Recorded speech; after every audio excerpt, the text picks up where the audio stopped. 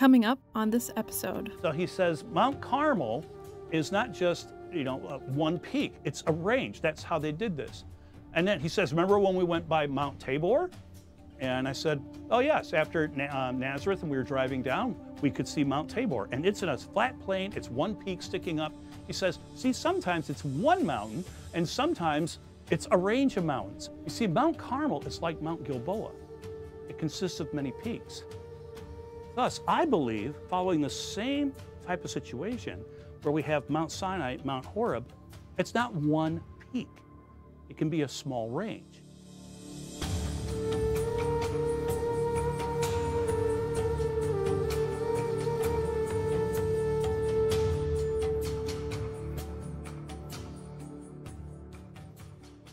Hi, and welcome to Evidence for Faith. It's your host, Michael Lane. So glad you're joining us today as we finish part four of our series we're doing on evidence of the Exodus. And today we're going to be talking about Mount Sinai, which is also called Mount Horeb. So we're picking up from the last lesson. The last lesson I sort of left as a cliffhanger. They have crossed the Red Sea that after leaving Egypt. They've wandered a little bit into the, the desert area of what I believe is Saudi Arabia, the land of Midian, as the Bible called it.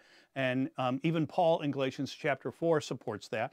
And now they're moving to the mountains. And as we've said before, there's so many different places in, in the Middle East that people claim is the actual Mount Sinai. And I mean, oh my gosh, there's so many of these. Some are in Egypt themselves, many are in the Sinai Peninsula. There's even one in the Transjordan area. Um, and then this one in, uh, and there's a couple actually in Saudi Arabia. But we're going to be looking at, at one in particular one because we're going to follow the evidence of what we see with the scripture. And what is this so interesting is they, they do align and go together. So it really gives us a really clear picture. I believe that this is the place where Moses received the Ten Commandments, also where God came down to meet with the people. So they've just come out of this. And the reason a lot of times our Bibles, particularly the atlas in your Bible, if you have an atlas in the back of your Bible, many times they'll have the, the trek of the Exodus and they follow it down into the bottom, the apex of the Sinai Peninsula. And I don't think that's the right place. But they do this because um, it's following an old tradi uh, tradition, a very old tradition. And that's where they get into this thing. Um, I believe that route is totally wrong. And there's down there in the Sinai Peninsula, people will flock there by the thousands every year to go to St. Catherine's Monastery. And um, they say that right there is where Mount Sinai was. But it doesn't fit all of the biblical parts of the story. So I disagree with that. Um, I think, and I also agree that uh, and think that the Gulf of Aqaba was the Red Sea because of the evidence again and, and the, geog the geography of what is mentioned about the story itself. So fits this. So um, that's where we sort of left them. We last left the Israelites crossing the Gulf of Aqaba. They've proceeded into the land of Midian, and let's pick it up. Starting with Exodus chapter 17, we read, All the congregation of the people of Israel moved on from the wilderness of Sin by stages according to the commandment of the Lord. They camped at Rephidim, but there was no water for the people to drink. Rephidim is a scrubby desert place, as you can see from the illustrations that we're giving you here. It's a flat, desolate plain surrounded by mountains all around, just a large, flat, desolate place. Very large. Remember, this is a large group of people who have moved here now, these Israelites. Um, there's no shade, but what is really important, there is no water. So notice the mountains in the background. I want you to notice this. Notice how the tops of them, of some of them, are darkened. Yeah, they have darkened tops. Um, this is not the results of clouds. If you'll notice in the skyline around, there is no clouds whatsoever. It's a clear blue sky that they have. So the shadow that you're seeing here is not from clouds or some other type of shadow. Something else very remarkable um, and very important to this story will explain the cover of those top of the mountains. Um, now, first, we must deal with the lack of water because that's where we, we start with chapter 17. The people have a lack of water, and that's a lot of people. So the people start to what? Complain. They complain to God, they complain to Moses again. Um, and so Moses goes to God and asks, okay, what are we supposed to do? Move down to verse 6, we read this Behold, I will stand before you there on the rock at Horeb, and you shall strike the rock, and water shall come out of it, and the people will drink. And Moses did so in the sight of the elders of Israel. Now, I don't know about you, but that's a really interesting verse. Um, I want to draw your attention precisely to what God told Moses to do in this rocky area. He tells him to go and stand at a rock.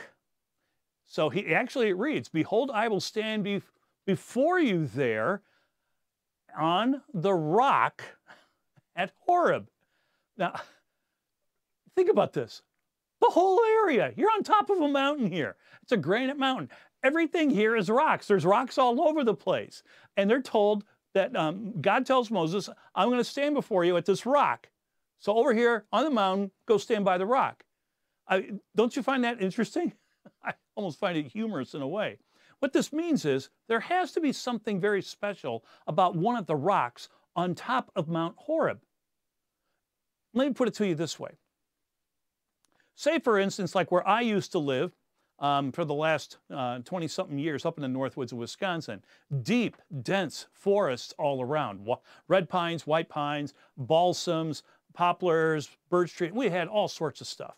Trees everywhere, so thick. Matter of fact, where my house was, you could look out any window in my house and all you could see was trees.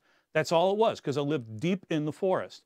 Now, just imagine for a minute if you were going to come up and visit me when I lived at that house and I, and I said something like this to you, like you asked me, for instance, where do you want to meet? And I, was, and I say this, um, I'll meet you at the tree in the forest. Would that help much? I mean, the whole forest is there. There's trees everywhere. But if I tell you go meet at the tree, well, meet at the tree in the forest, that means there's probably some type of special tree that stands out from the others. Now, with that mindset, that's the same thing God is sort of telling Moses. Go stand on the rock at Horeb. The whole mountain is a rock. So there has to be something very special there that stands out among all of the other type of rocks and, and everything else in this mountain range. And there is. Look at the photo you're seeing now. You see the size of this massive granite rock? This is in the Mount Sinai range. Now remember, we talked about this once before. Mountains, just this name of a mountain in the Bible, is not necessarily one sole mountain peak. It can sometimes be a whole range. Mount Carmel, Mount Gilboa, they have different peaks, yet it's one range. So we have something like that occurring here. Uh, we have a whole range where Mount Sinai, Mount Horeb, and, and this range is.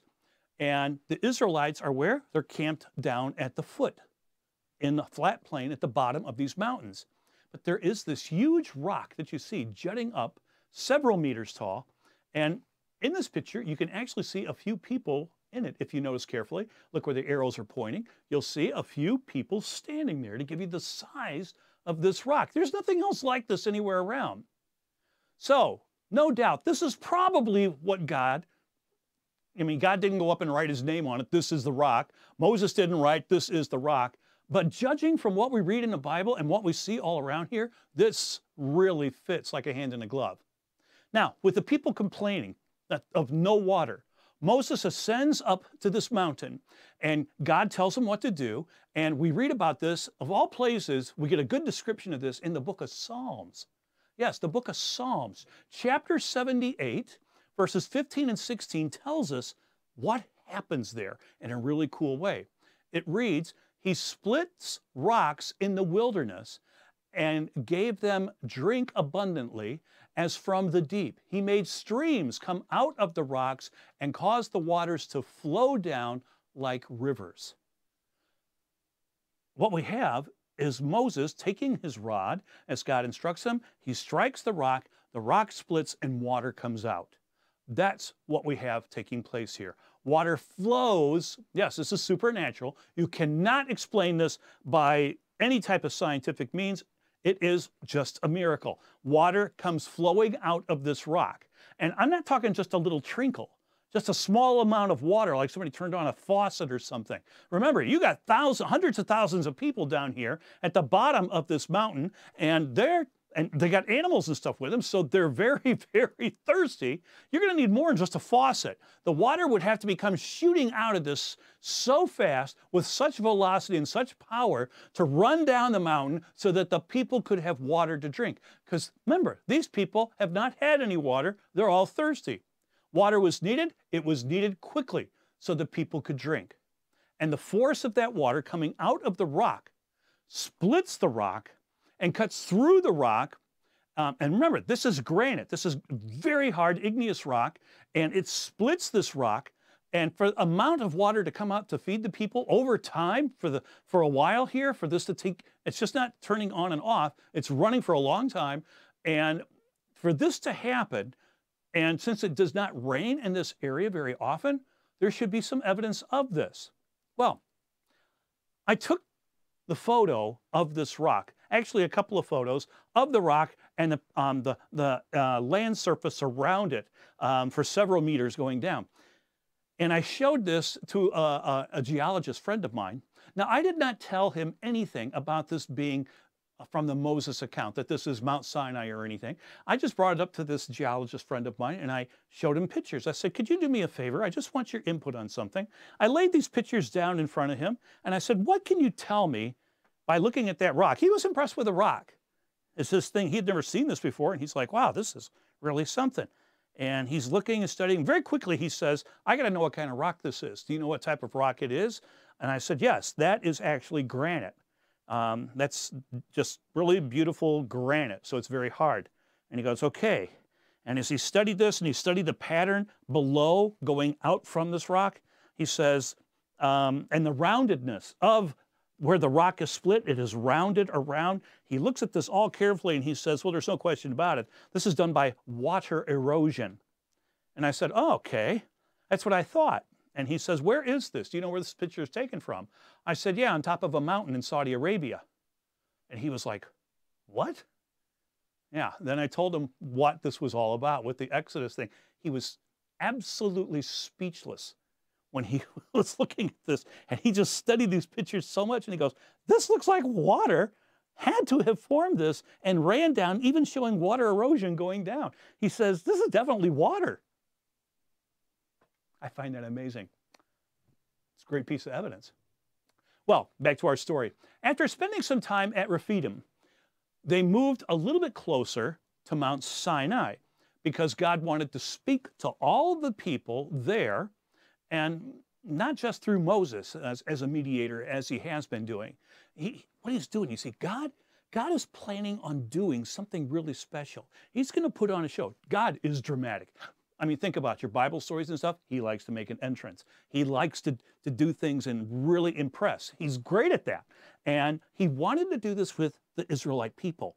So what he does is he has them all come along there at the bottom because he's going to present um, himself at this mountain and speak directly, audibly to the people. It was a terrifying experience. If you read uh, Exodus 19 and 20, the people were just going crazy, yelling Please let God stop talking to us. Moses, just let him speak to you and you speak to us. This is terrifying. But anyway, that's where that's the plan God has. So in Exodus chapter 19, the first two verses, we read this. On the third moon, after the people of Israel had gone up out of the land of Egypt, on that day they came into the wilderness of the Sinai. They set out from Rephidim and came to the wilderness of Sinai.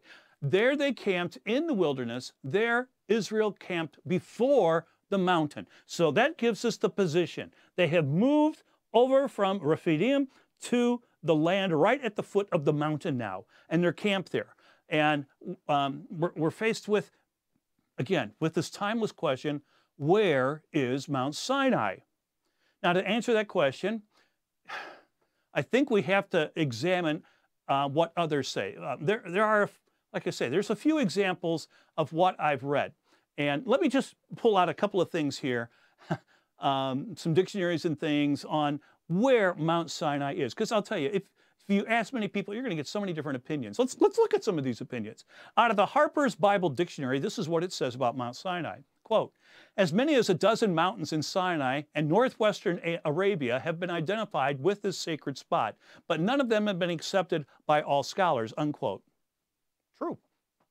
Here's uh, from the Anchor Yale Bible Dictionary. It reads, quote, in modern times, at least a dozen different sites have been proposed, including mountains in the north and west of the Sinai Peninsula, in southern Palestine, in Transjordan, and in Saudi Arabia, unquote. Isn't that wild? Uh, let's take a look at the Archaeological Encyclopedia of the Holy Land. What do they say? The identification of Mount Sinai is also doubtful. The early Christian tradition identifies it with Jebel Musa, which Mount of Moses, on which Justinian I dedicated a monastery to St. Catherine of Alexandria in the year 527. If this identification is correct, it would imply that the Israelites made a long, difficult, and topographically unnecessary detour in the rough southern part of the peninsula. So there's just three sources. And like I say, we could go on. There's so many different sources that are out there. And most of them say we just don't know. Well, it's what we've been doing. Let's take what the Bible says. We're exploring it and seeing how it compares with everything. Okay, before we go any further, let's review something. As I said, some mountains named in the Bible are not a single mountain top, but they're a range of mountains. During one of my first trips to Israel, we are standing at a place called Megiddo. And I was looking to the west of Megiddo. At, there's a large mountain range going across, a lot of peaks going along for a long way, all the way up basically to the Sea of uh, the Mediterranean Sea. So I was standing there looking at this, and I asked my friend, Dr. Steven Notley, if he could point out which one of the mountains was the one that Mount uh, that Elijah had his battle with the the uh, prophets of Baal and Asherah on Mount Carmel. I said, which one of these is Mount Carmel? And I'll never forget what he did. He, he pointed his head to the mountain range and he just swept his hand back. And he said, that's Mount Carmel. I said, I don't get it. He says, that is all Mount Carmel. I said, well, which one's the peak? He says, well, we don't know. We don't know which one it is. He says there's a little monastery up on one of the tops over there. Um, we can go there and take a look at it, but he says this, this is just all the mountain range is called Carmel. And then we, he says, look over here to the uh, to your right. And here's a mountain range going out this way, not quite as impressive as that. And he says, you know what that is? I said, Well, this is where Mount Gilboa is, right? And he goes, Yes. All of these tips here and everything, all of this range, about 10 miles of it, is um, Mount Gilboa. So he says, Mount Carmel is not just you know, uh, one peak. It's a range. That's how they did this. And then he says, remember when we went by Mount Tabor?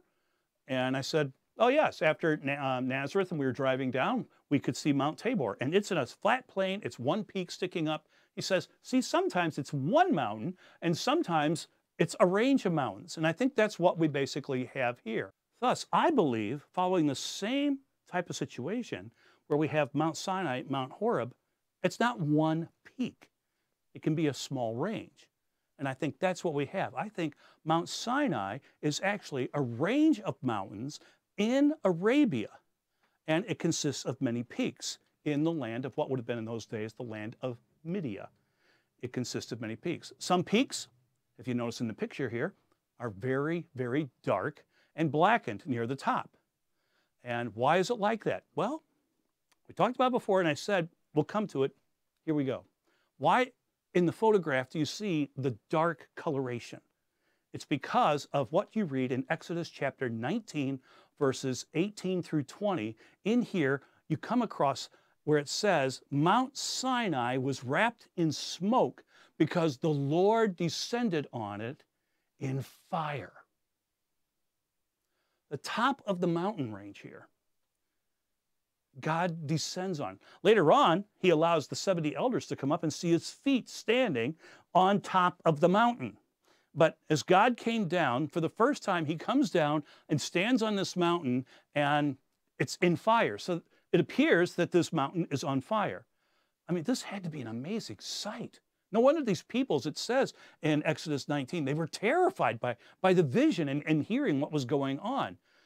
I think that's the reason the range is darkened. It's, it's unnatural, but Scripture does give us an explanation. In Deuteronomy chapter 4, verses 11 and 12, we read, And you came near and stood at the foot of the mountain, while the mountain burned with fire to the heart of heaven, wrapped in darkness, cloud, and gloom. Then the Lord spoke to you out of the midst of the fire. You heard the sound of words, but saw no form. There was only a voice. And scripture tells us it terrified the people. I bet it did. I bet it did. So Moses wrote that the mountain burned with fire. But think about this. We're on top of a mountain, it's very high, and with the pictures we're seeing around here of Mount Sinai, there's no vegetation. So what was burning? That's a good question because it's just granite rock. There's no vegetation. What was burning? I believe it's a supernatural burning. I believe this is a miracle again. You cannot explain it by anything. Um, looking again, we get another clue now. In Deuteronomy chapter 5, verses 4 and 5, reads, The Lord spoke with you face to face at the mountain, out of the midst of the fire, while I stood between the Lord and you at the time, to declare to you the word of the Lord. For you were afraid because of the fire, you did not go up into the mountain. I bet they were afraid. So what Moses is saying here, that he was between the fire on top and the people down below. Mo Moses was up some ways into the mountain and very close to the fire. God descended on this mountain in fire and in smoke. And he was, like I said, he was coming down to speak to the people. They've been breaking his laws and, and doing all sorts of things and complaining all the time. He's coming down now. What a sight this had to be. You would think, well, this is going to straighten these people out. Well, we're going to find out it doesn't. But um, he was not going to just speak to Moses, um, but to all the people. He wanted to speak to everybody. Before this, he's always going through Moses. Now, he orally speaks to the people and gives them the laws. And it terrified the people all the people witnessed this supernatural event. And Mount Sinai, Mount Horeb, if you will, is likely this range that we're showing you here in a photograph that is very large, but it's got uh, darkened, darkened tops all through this area. I believe that's where it is. Now, I know a person who has led tours up there into this area. And if a person does ascend into this area, this mountainous area, more mystery will just unfold before you. Supernatural events you can't explain, adding to the accuracy of the biblical account with this place. Because you can pick up rocks and you'll see that the rocks are totally burnt on one side, but you, just blackened. But if you turn them over, they're still pink, like ordinary granite. How does that happen? This is not a volcano with lava flowing through here. That does, no, that's not what the, this is going on here. That's not what's happening here. As one person, um, I was listening to him who went up, uh, two of, um, actually him and a buddy went on this tour and went exploring, uh, hiking up into this area and came back and talked about it. And they said it was like God took a, a gigantic blowtorch to the top of the mountain and just melted and burnt the top of the rocks. Everything, whatever you turn over is burnt black, but when you turn it over, it's pink underneath. So it was the most amazing thing. But there's more to this area than just burnt rock. The Bible records other events happening here too that help to support this case that this area is Mount Sinai. So let's continue to examine what the Bible has to say about it and see how it stacks up to what we find. In Exodus chapter 24, verse 4, it reads, And Moses wrote down all the words of the Lord he rose early in the morning and built an altar at the foot of the mountain and 12 pillars according to the 12 tribes of Israel. Okay, two things are being done there. Two things that are changing the, the layout of the land. Moses is building an altar and he's setting up these, these pillars. So if that happened, in this area. It's very likely, since this is not traveled much and it's out in, in a desolate place, it's very likely some of the remains of the altar will still be there, that we could find this, and the pillars also. Well, if you go to Saudi Arabia and you travel around this area and you examine this, this spot here, you're going to find out at the base of the mountain is found an ancient man-made structure. There is, there's no question about it. It's man-made, as you can see from the image I'm showing you here. These lines and stuff could be the remains of the altar built by Moses and the Israelites. Now, some of you are looking at this photograph and you just see, you know, uh, straight lines of rocks being laid out and then there's an angle turn. Definitely it's man-made, but you're thinking, that's an altar? Altars are not always like what we see in a Sunday school book of just a bunch of rocks piled up um, in, a, in a small circle of like, you know, three or four feet across. Some altars in the Bible are huge like what they saw in the temple. Herod's temple had a huge one. Uh, Solomon's temple had a huge one. Even the tabernacle had a good sized altar. But let me tell you one that's really interesting. Um, God commanded Moses to tell Joshua that when they came into the promised land, that Joshua was to build an altar on Mount Ebal. Now, during the 1970s, a non believing Jewish archaeologist, his name was Adam Zertal, he did not believe in the Bible, um, he went to Mount Ebal. There had been very little excavation done up there over the years, and he started digging there, and he found, uh, as he started digging into this area, a huge structure. At first, he didn't know what it was. He thought it was a house at first. Then he realized, no, it's got walls around it. Nope, this must be a fort. He didn't know what it was. But a friend of his um, took a look at his drawings and said, I can tell you what this is. Um, because he was a Jew who um, goes to synagogue and, and uh, says, This looks just like a picture um, that I've seen in some books of an altar that, um, that the Jews built. And Adam Zertal then realized what he found was an altar, and not just an altar, the altar that Joshua built for the people under the commandment here of God to build this. It was lined with plaster on the outside and it was written with the law written on in the plaster all around this huge, huge thing. As you see the photograph of this thing, it is huge. It's a gigantic, gi gigantic size altar. So don't always think altars are small little things. This thing is big. And by the way, Adam Zertal found as he was doing this, a lot of the stones were had plaster on one side. That's very unusual too. But anyway, looking back at Mount Sinai, at the lines that we see here of the man-made stones laid out, is this actually part of an altar that Moses built? Could be. We don't have Moses' name here. Moses built this in the year, you know, 1446. We don't see that, but it fits the story. The evidence here of what we're seeing fits this account as described in Exodus 24. Now, besides the altar that Moses built on Mount Sinai, um, he was also commanded to build 12 pillars, 12 pillars, uh, to set them up, one for each of the 12 tribes. So, if this is the place, the correct place, if we look around, we should be able to find possibly the remains of pillars. And look at this picture here. You can see these la large circular stones. They're huge stones. And the thing is, they look just like they stacked up on top of each other. There's earthquakes often in this area. Um, it's been toppled, but these look like these were pillars that were set up. Man brought these things in. It's interesting too, just to let you know, they're not made of granite, they're made of marble.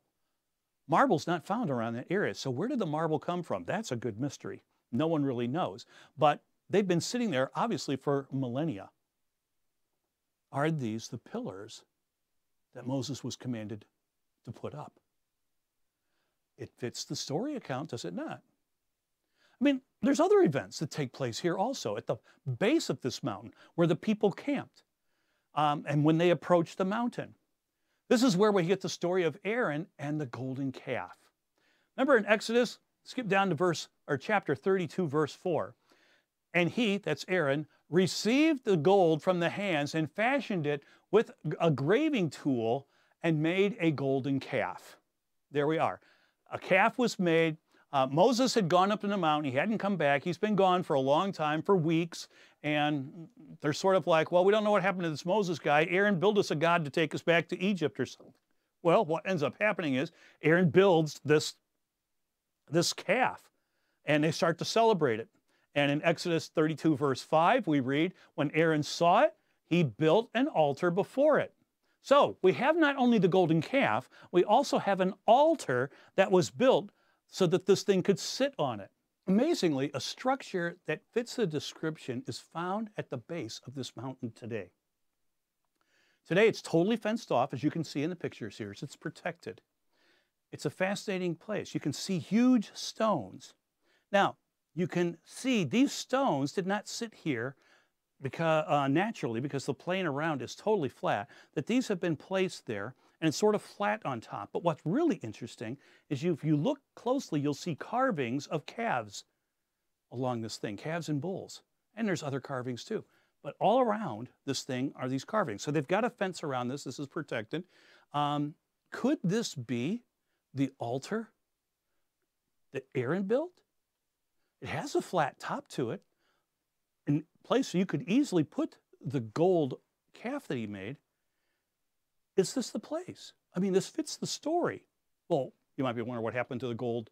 Um, we'll come to that in a second. In Exodus chapter 32, verse 6, now I'm going to read this out of the God's Word translation. It makes it a little easier to understand. It reads Early the next day, the people sacrificed burnt offerings and brought fellowship offerings. Afterwards, they sat down to a feast which turned into an orgy. Hey, it's right out of Scripture. So, what's going on? Aaron built this calf because of the peer pressure from the people. He put, uh, had them build an altar. He puts the calf on top of the altar. The people have a big feast, and then they just really let go. They go absolutely crazy. Of course, Moses and Joshua are not there. They're up on the mountain. Joshua, not quite as high as, as Moses. Moses was further up, but they were up there. Moses was meeting with God. Joshua was further down the slope. But both of them could hear the feast and the party, the commotion going on down below. Joshua thought he was hearing a battle taking place. And again, we're going to take this out of the God's Word translation in Exodus 32, starting at verse 17 and reading through verse 19. We read Then Joshua heard the noise of the people shouting. He said to Moses, It's the sound of war in camp. Moses replied, It's not the sound of winners shouting. It's not the sound of losers crying, it's the sound of a wild celebration that I hear. And when he came near uh, the camp, he saw the calf and the dancing. And um, a burst in anger, Moses threw down the tablets and smashed them at the foot of the mountain. Hmm. We all know this story. It's a famous story. It's portrayed in most of the movies like Ten Commandments and stuff. Um, this golden calf is what's there. So where's the golden calf today? Can we find that if we start digging around there? Nope, you're not going to find it. Um, the golden calf is not around today because Moses, when he came down, he punished the people for breaking the laws. They just got done promising God they would follow his laws, not make graven images, not worship anything else but him. And just, just days later, this all happens.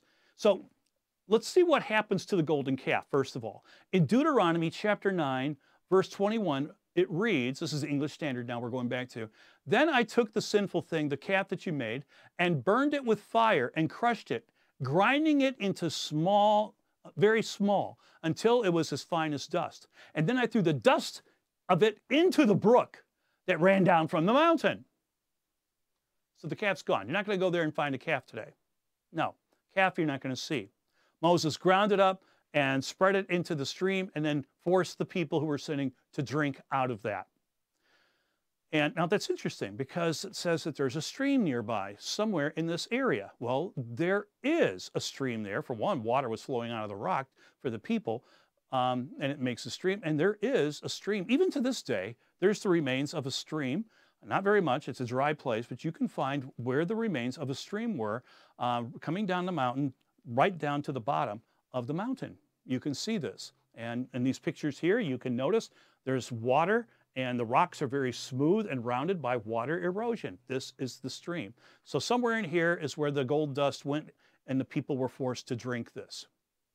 But that's not all. There's something else. Remember this.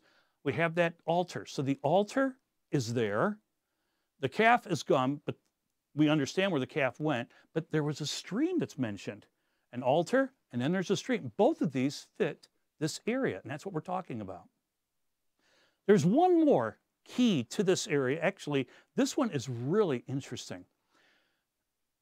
A different Bible story takes place here at this mountain. And as we sort of conclude this whole series on this, I'm going to wrap it up with this. And this is a shocker to a lot of people. This is something that really, I mean, outside of the blackened mountaintops, which, I mean, that just blew me away. This is also amazing and is different than many of the other sites that claim people claim is Mount Sinai. About 600 years after all of this events take place with Moses, around the year 850 BC, we have the prophet Elijah having his showdown, as we've talked about before, with Queen Jezebel's prophets of Baal and Asherah. And where it took place was on Mount Carmel. And as you know, as the story goes, God answers Elijah's prayer. He burns up the altar um, and with fire coming down and everything. And then Elijah orders the people to kill all the false prophets. Jezebel was not there. Jezebel is very upset and she puts out a contract uh, basically to have Elijah killed. So Elijah runs for his life. Where does he run to? He runs to Mount Horeb, is what it says. He goes there. Why? To hide in a cave, it says. Hides in a cave. hence, there has to be a cave big enough for somebody to hide in at this mountain site that we're talking about. If this is the true Mount Sinai, there will be a cave there. And guess what? There is a cave there. And as you can see, um, this cave is very large. Now, we read about this in 1 Kings chapter 19, verses 8 and 9. And he arose and drank and went in strength uh, of that food 40 days and 40 nights to Horeb, the mount of God. And there he came to a cave and he lodged in it. So that's another event that we can see having to do to support this area is Mount Sinai. And this cave, as you can see from the pictures, is very large. In one picture, you can see there's some people. The pictures the, was taken by the photographer standing in the back of the cave looking outward. And you can see this is a large cave. And there's even people in the cave. If you spot them, you can see some people laying down, one person in particular laying down on the side. This is a large cave. And this fits the whole story of dealing with that this is the place, Mount Sinai, of the Exodus account. So, though there's no stone uh, handwriting, Moses wrote down things, of course, but on scrolls, but he, he didn't write things on rocks. We don't have that. So we're never going to know with 100% certainty in this time period of, of is this the actual Mount Sinai? Is this where all this took place as we've gone through this series now, this four-part series? We're not 100, I mean, to be 100%, you'd have to have like really solid archaeological evidence that is irrefutable. I have shown this presentation to many people. I see people come up and they say, I just can't believe this. I still think it's got to be Mount Sinai. And, or they say it's, it's this mountain over here, this mountain. It's interesting because the Muslims um, who live in the area there, what was ancient Midian, have said for centuries that we Christians have the wrong places. This is where it all took place. And there's the cave of Moses, is what they call that cave. And they have, have always thought that this is the right place.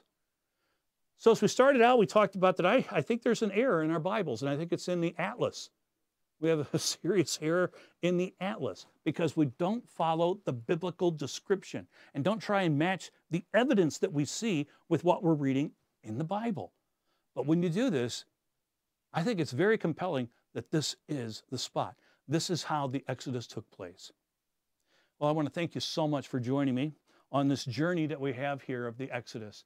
It's been a delight to do this for you. I hope you've um, this has strengthened your faith, has given you maybe some ammunition to to study and, and to go out and, and talk to others about uh, the accuracy of the Bible. And these stories are really true. I hope this has helped you. We'd love to hear from you. Um, and uh, there's other series that we'll be doing, but we've just concluded now the series on the Exodus account. Thanks for joining me. And until we meet again, take care and may God bless. Support the show. Become a donor at evidence4faith.org/give.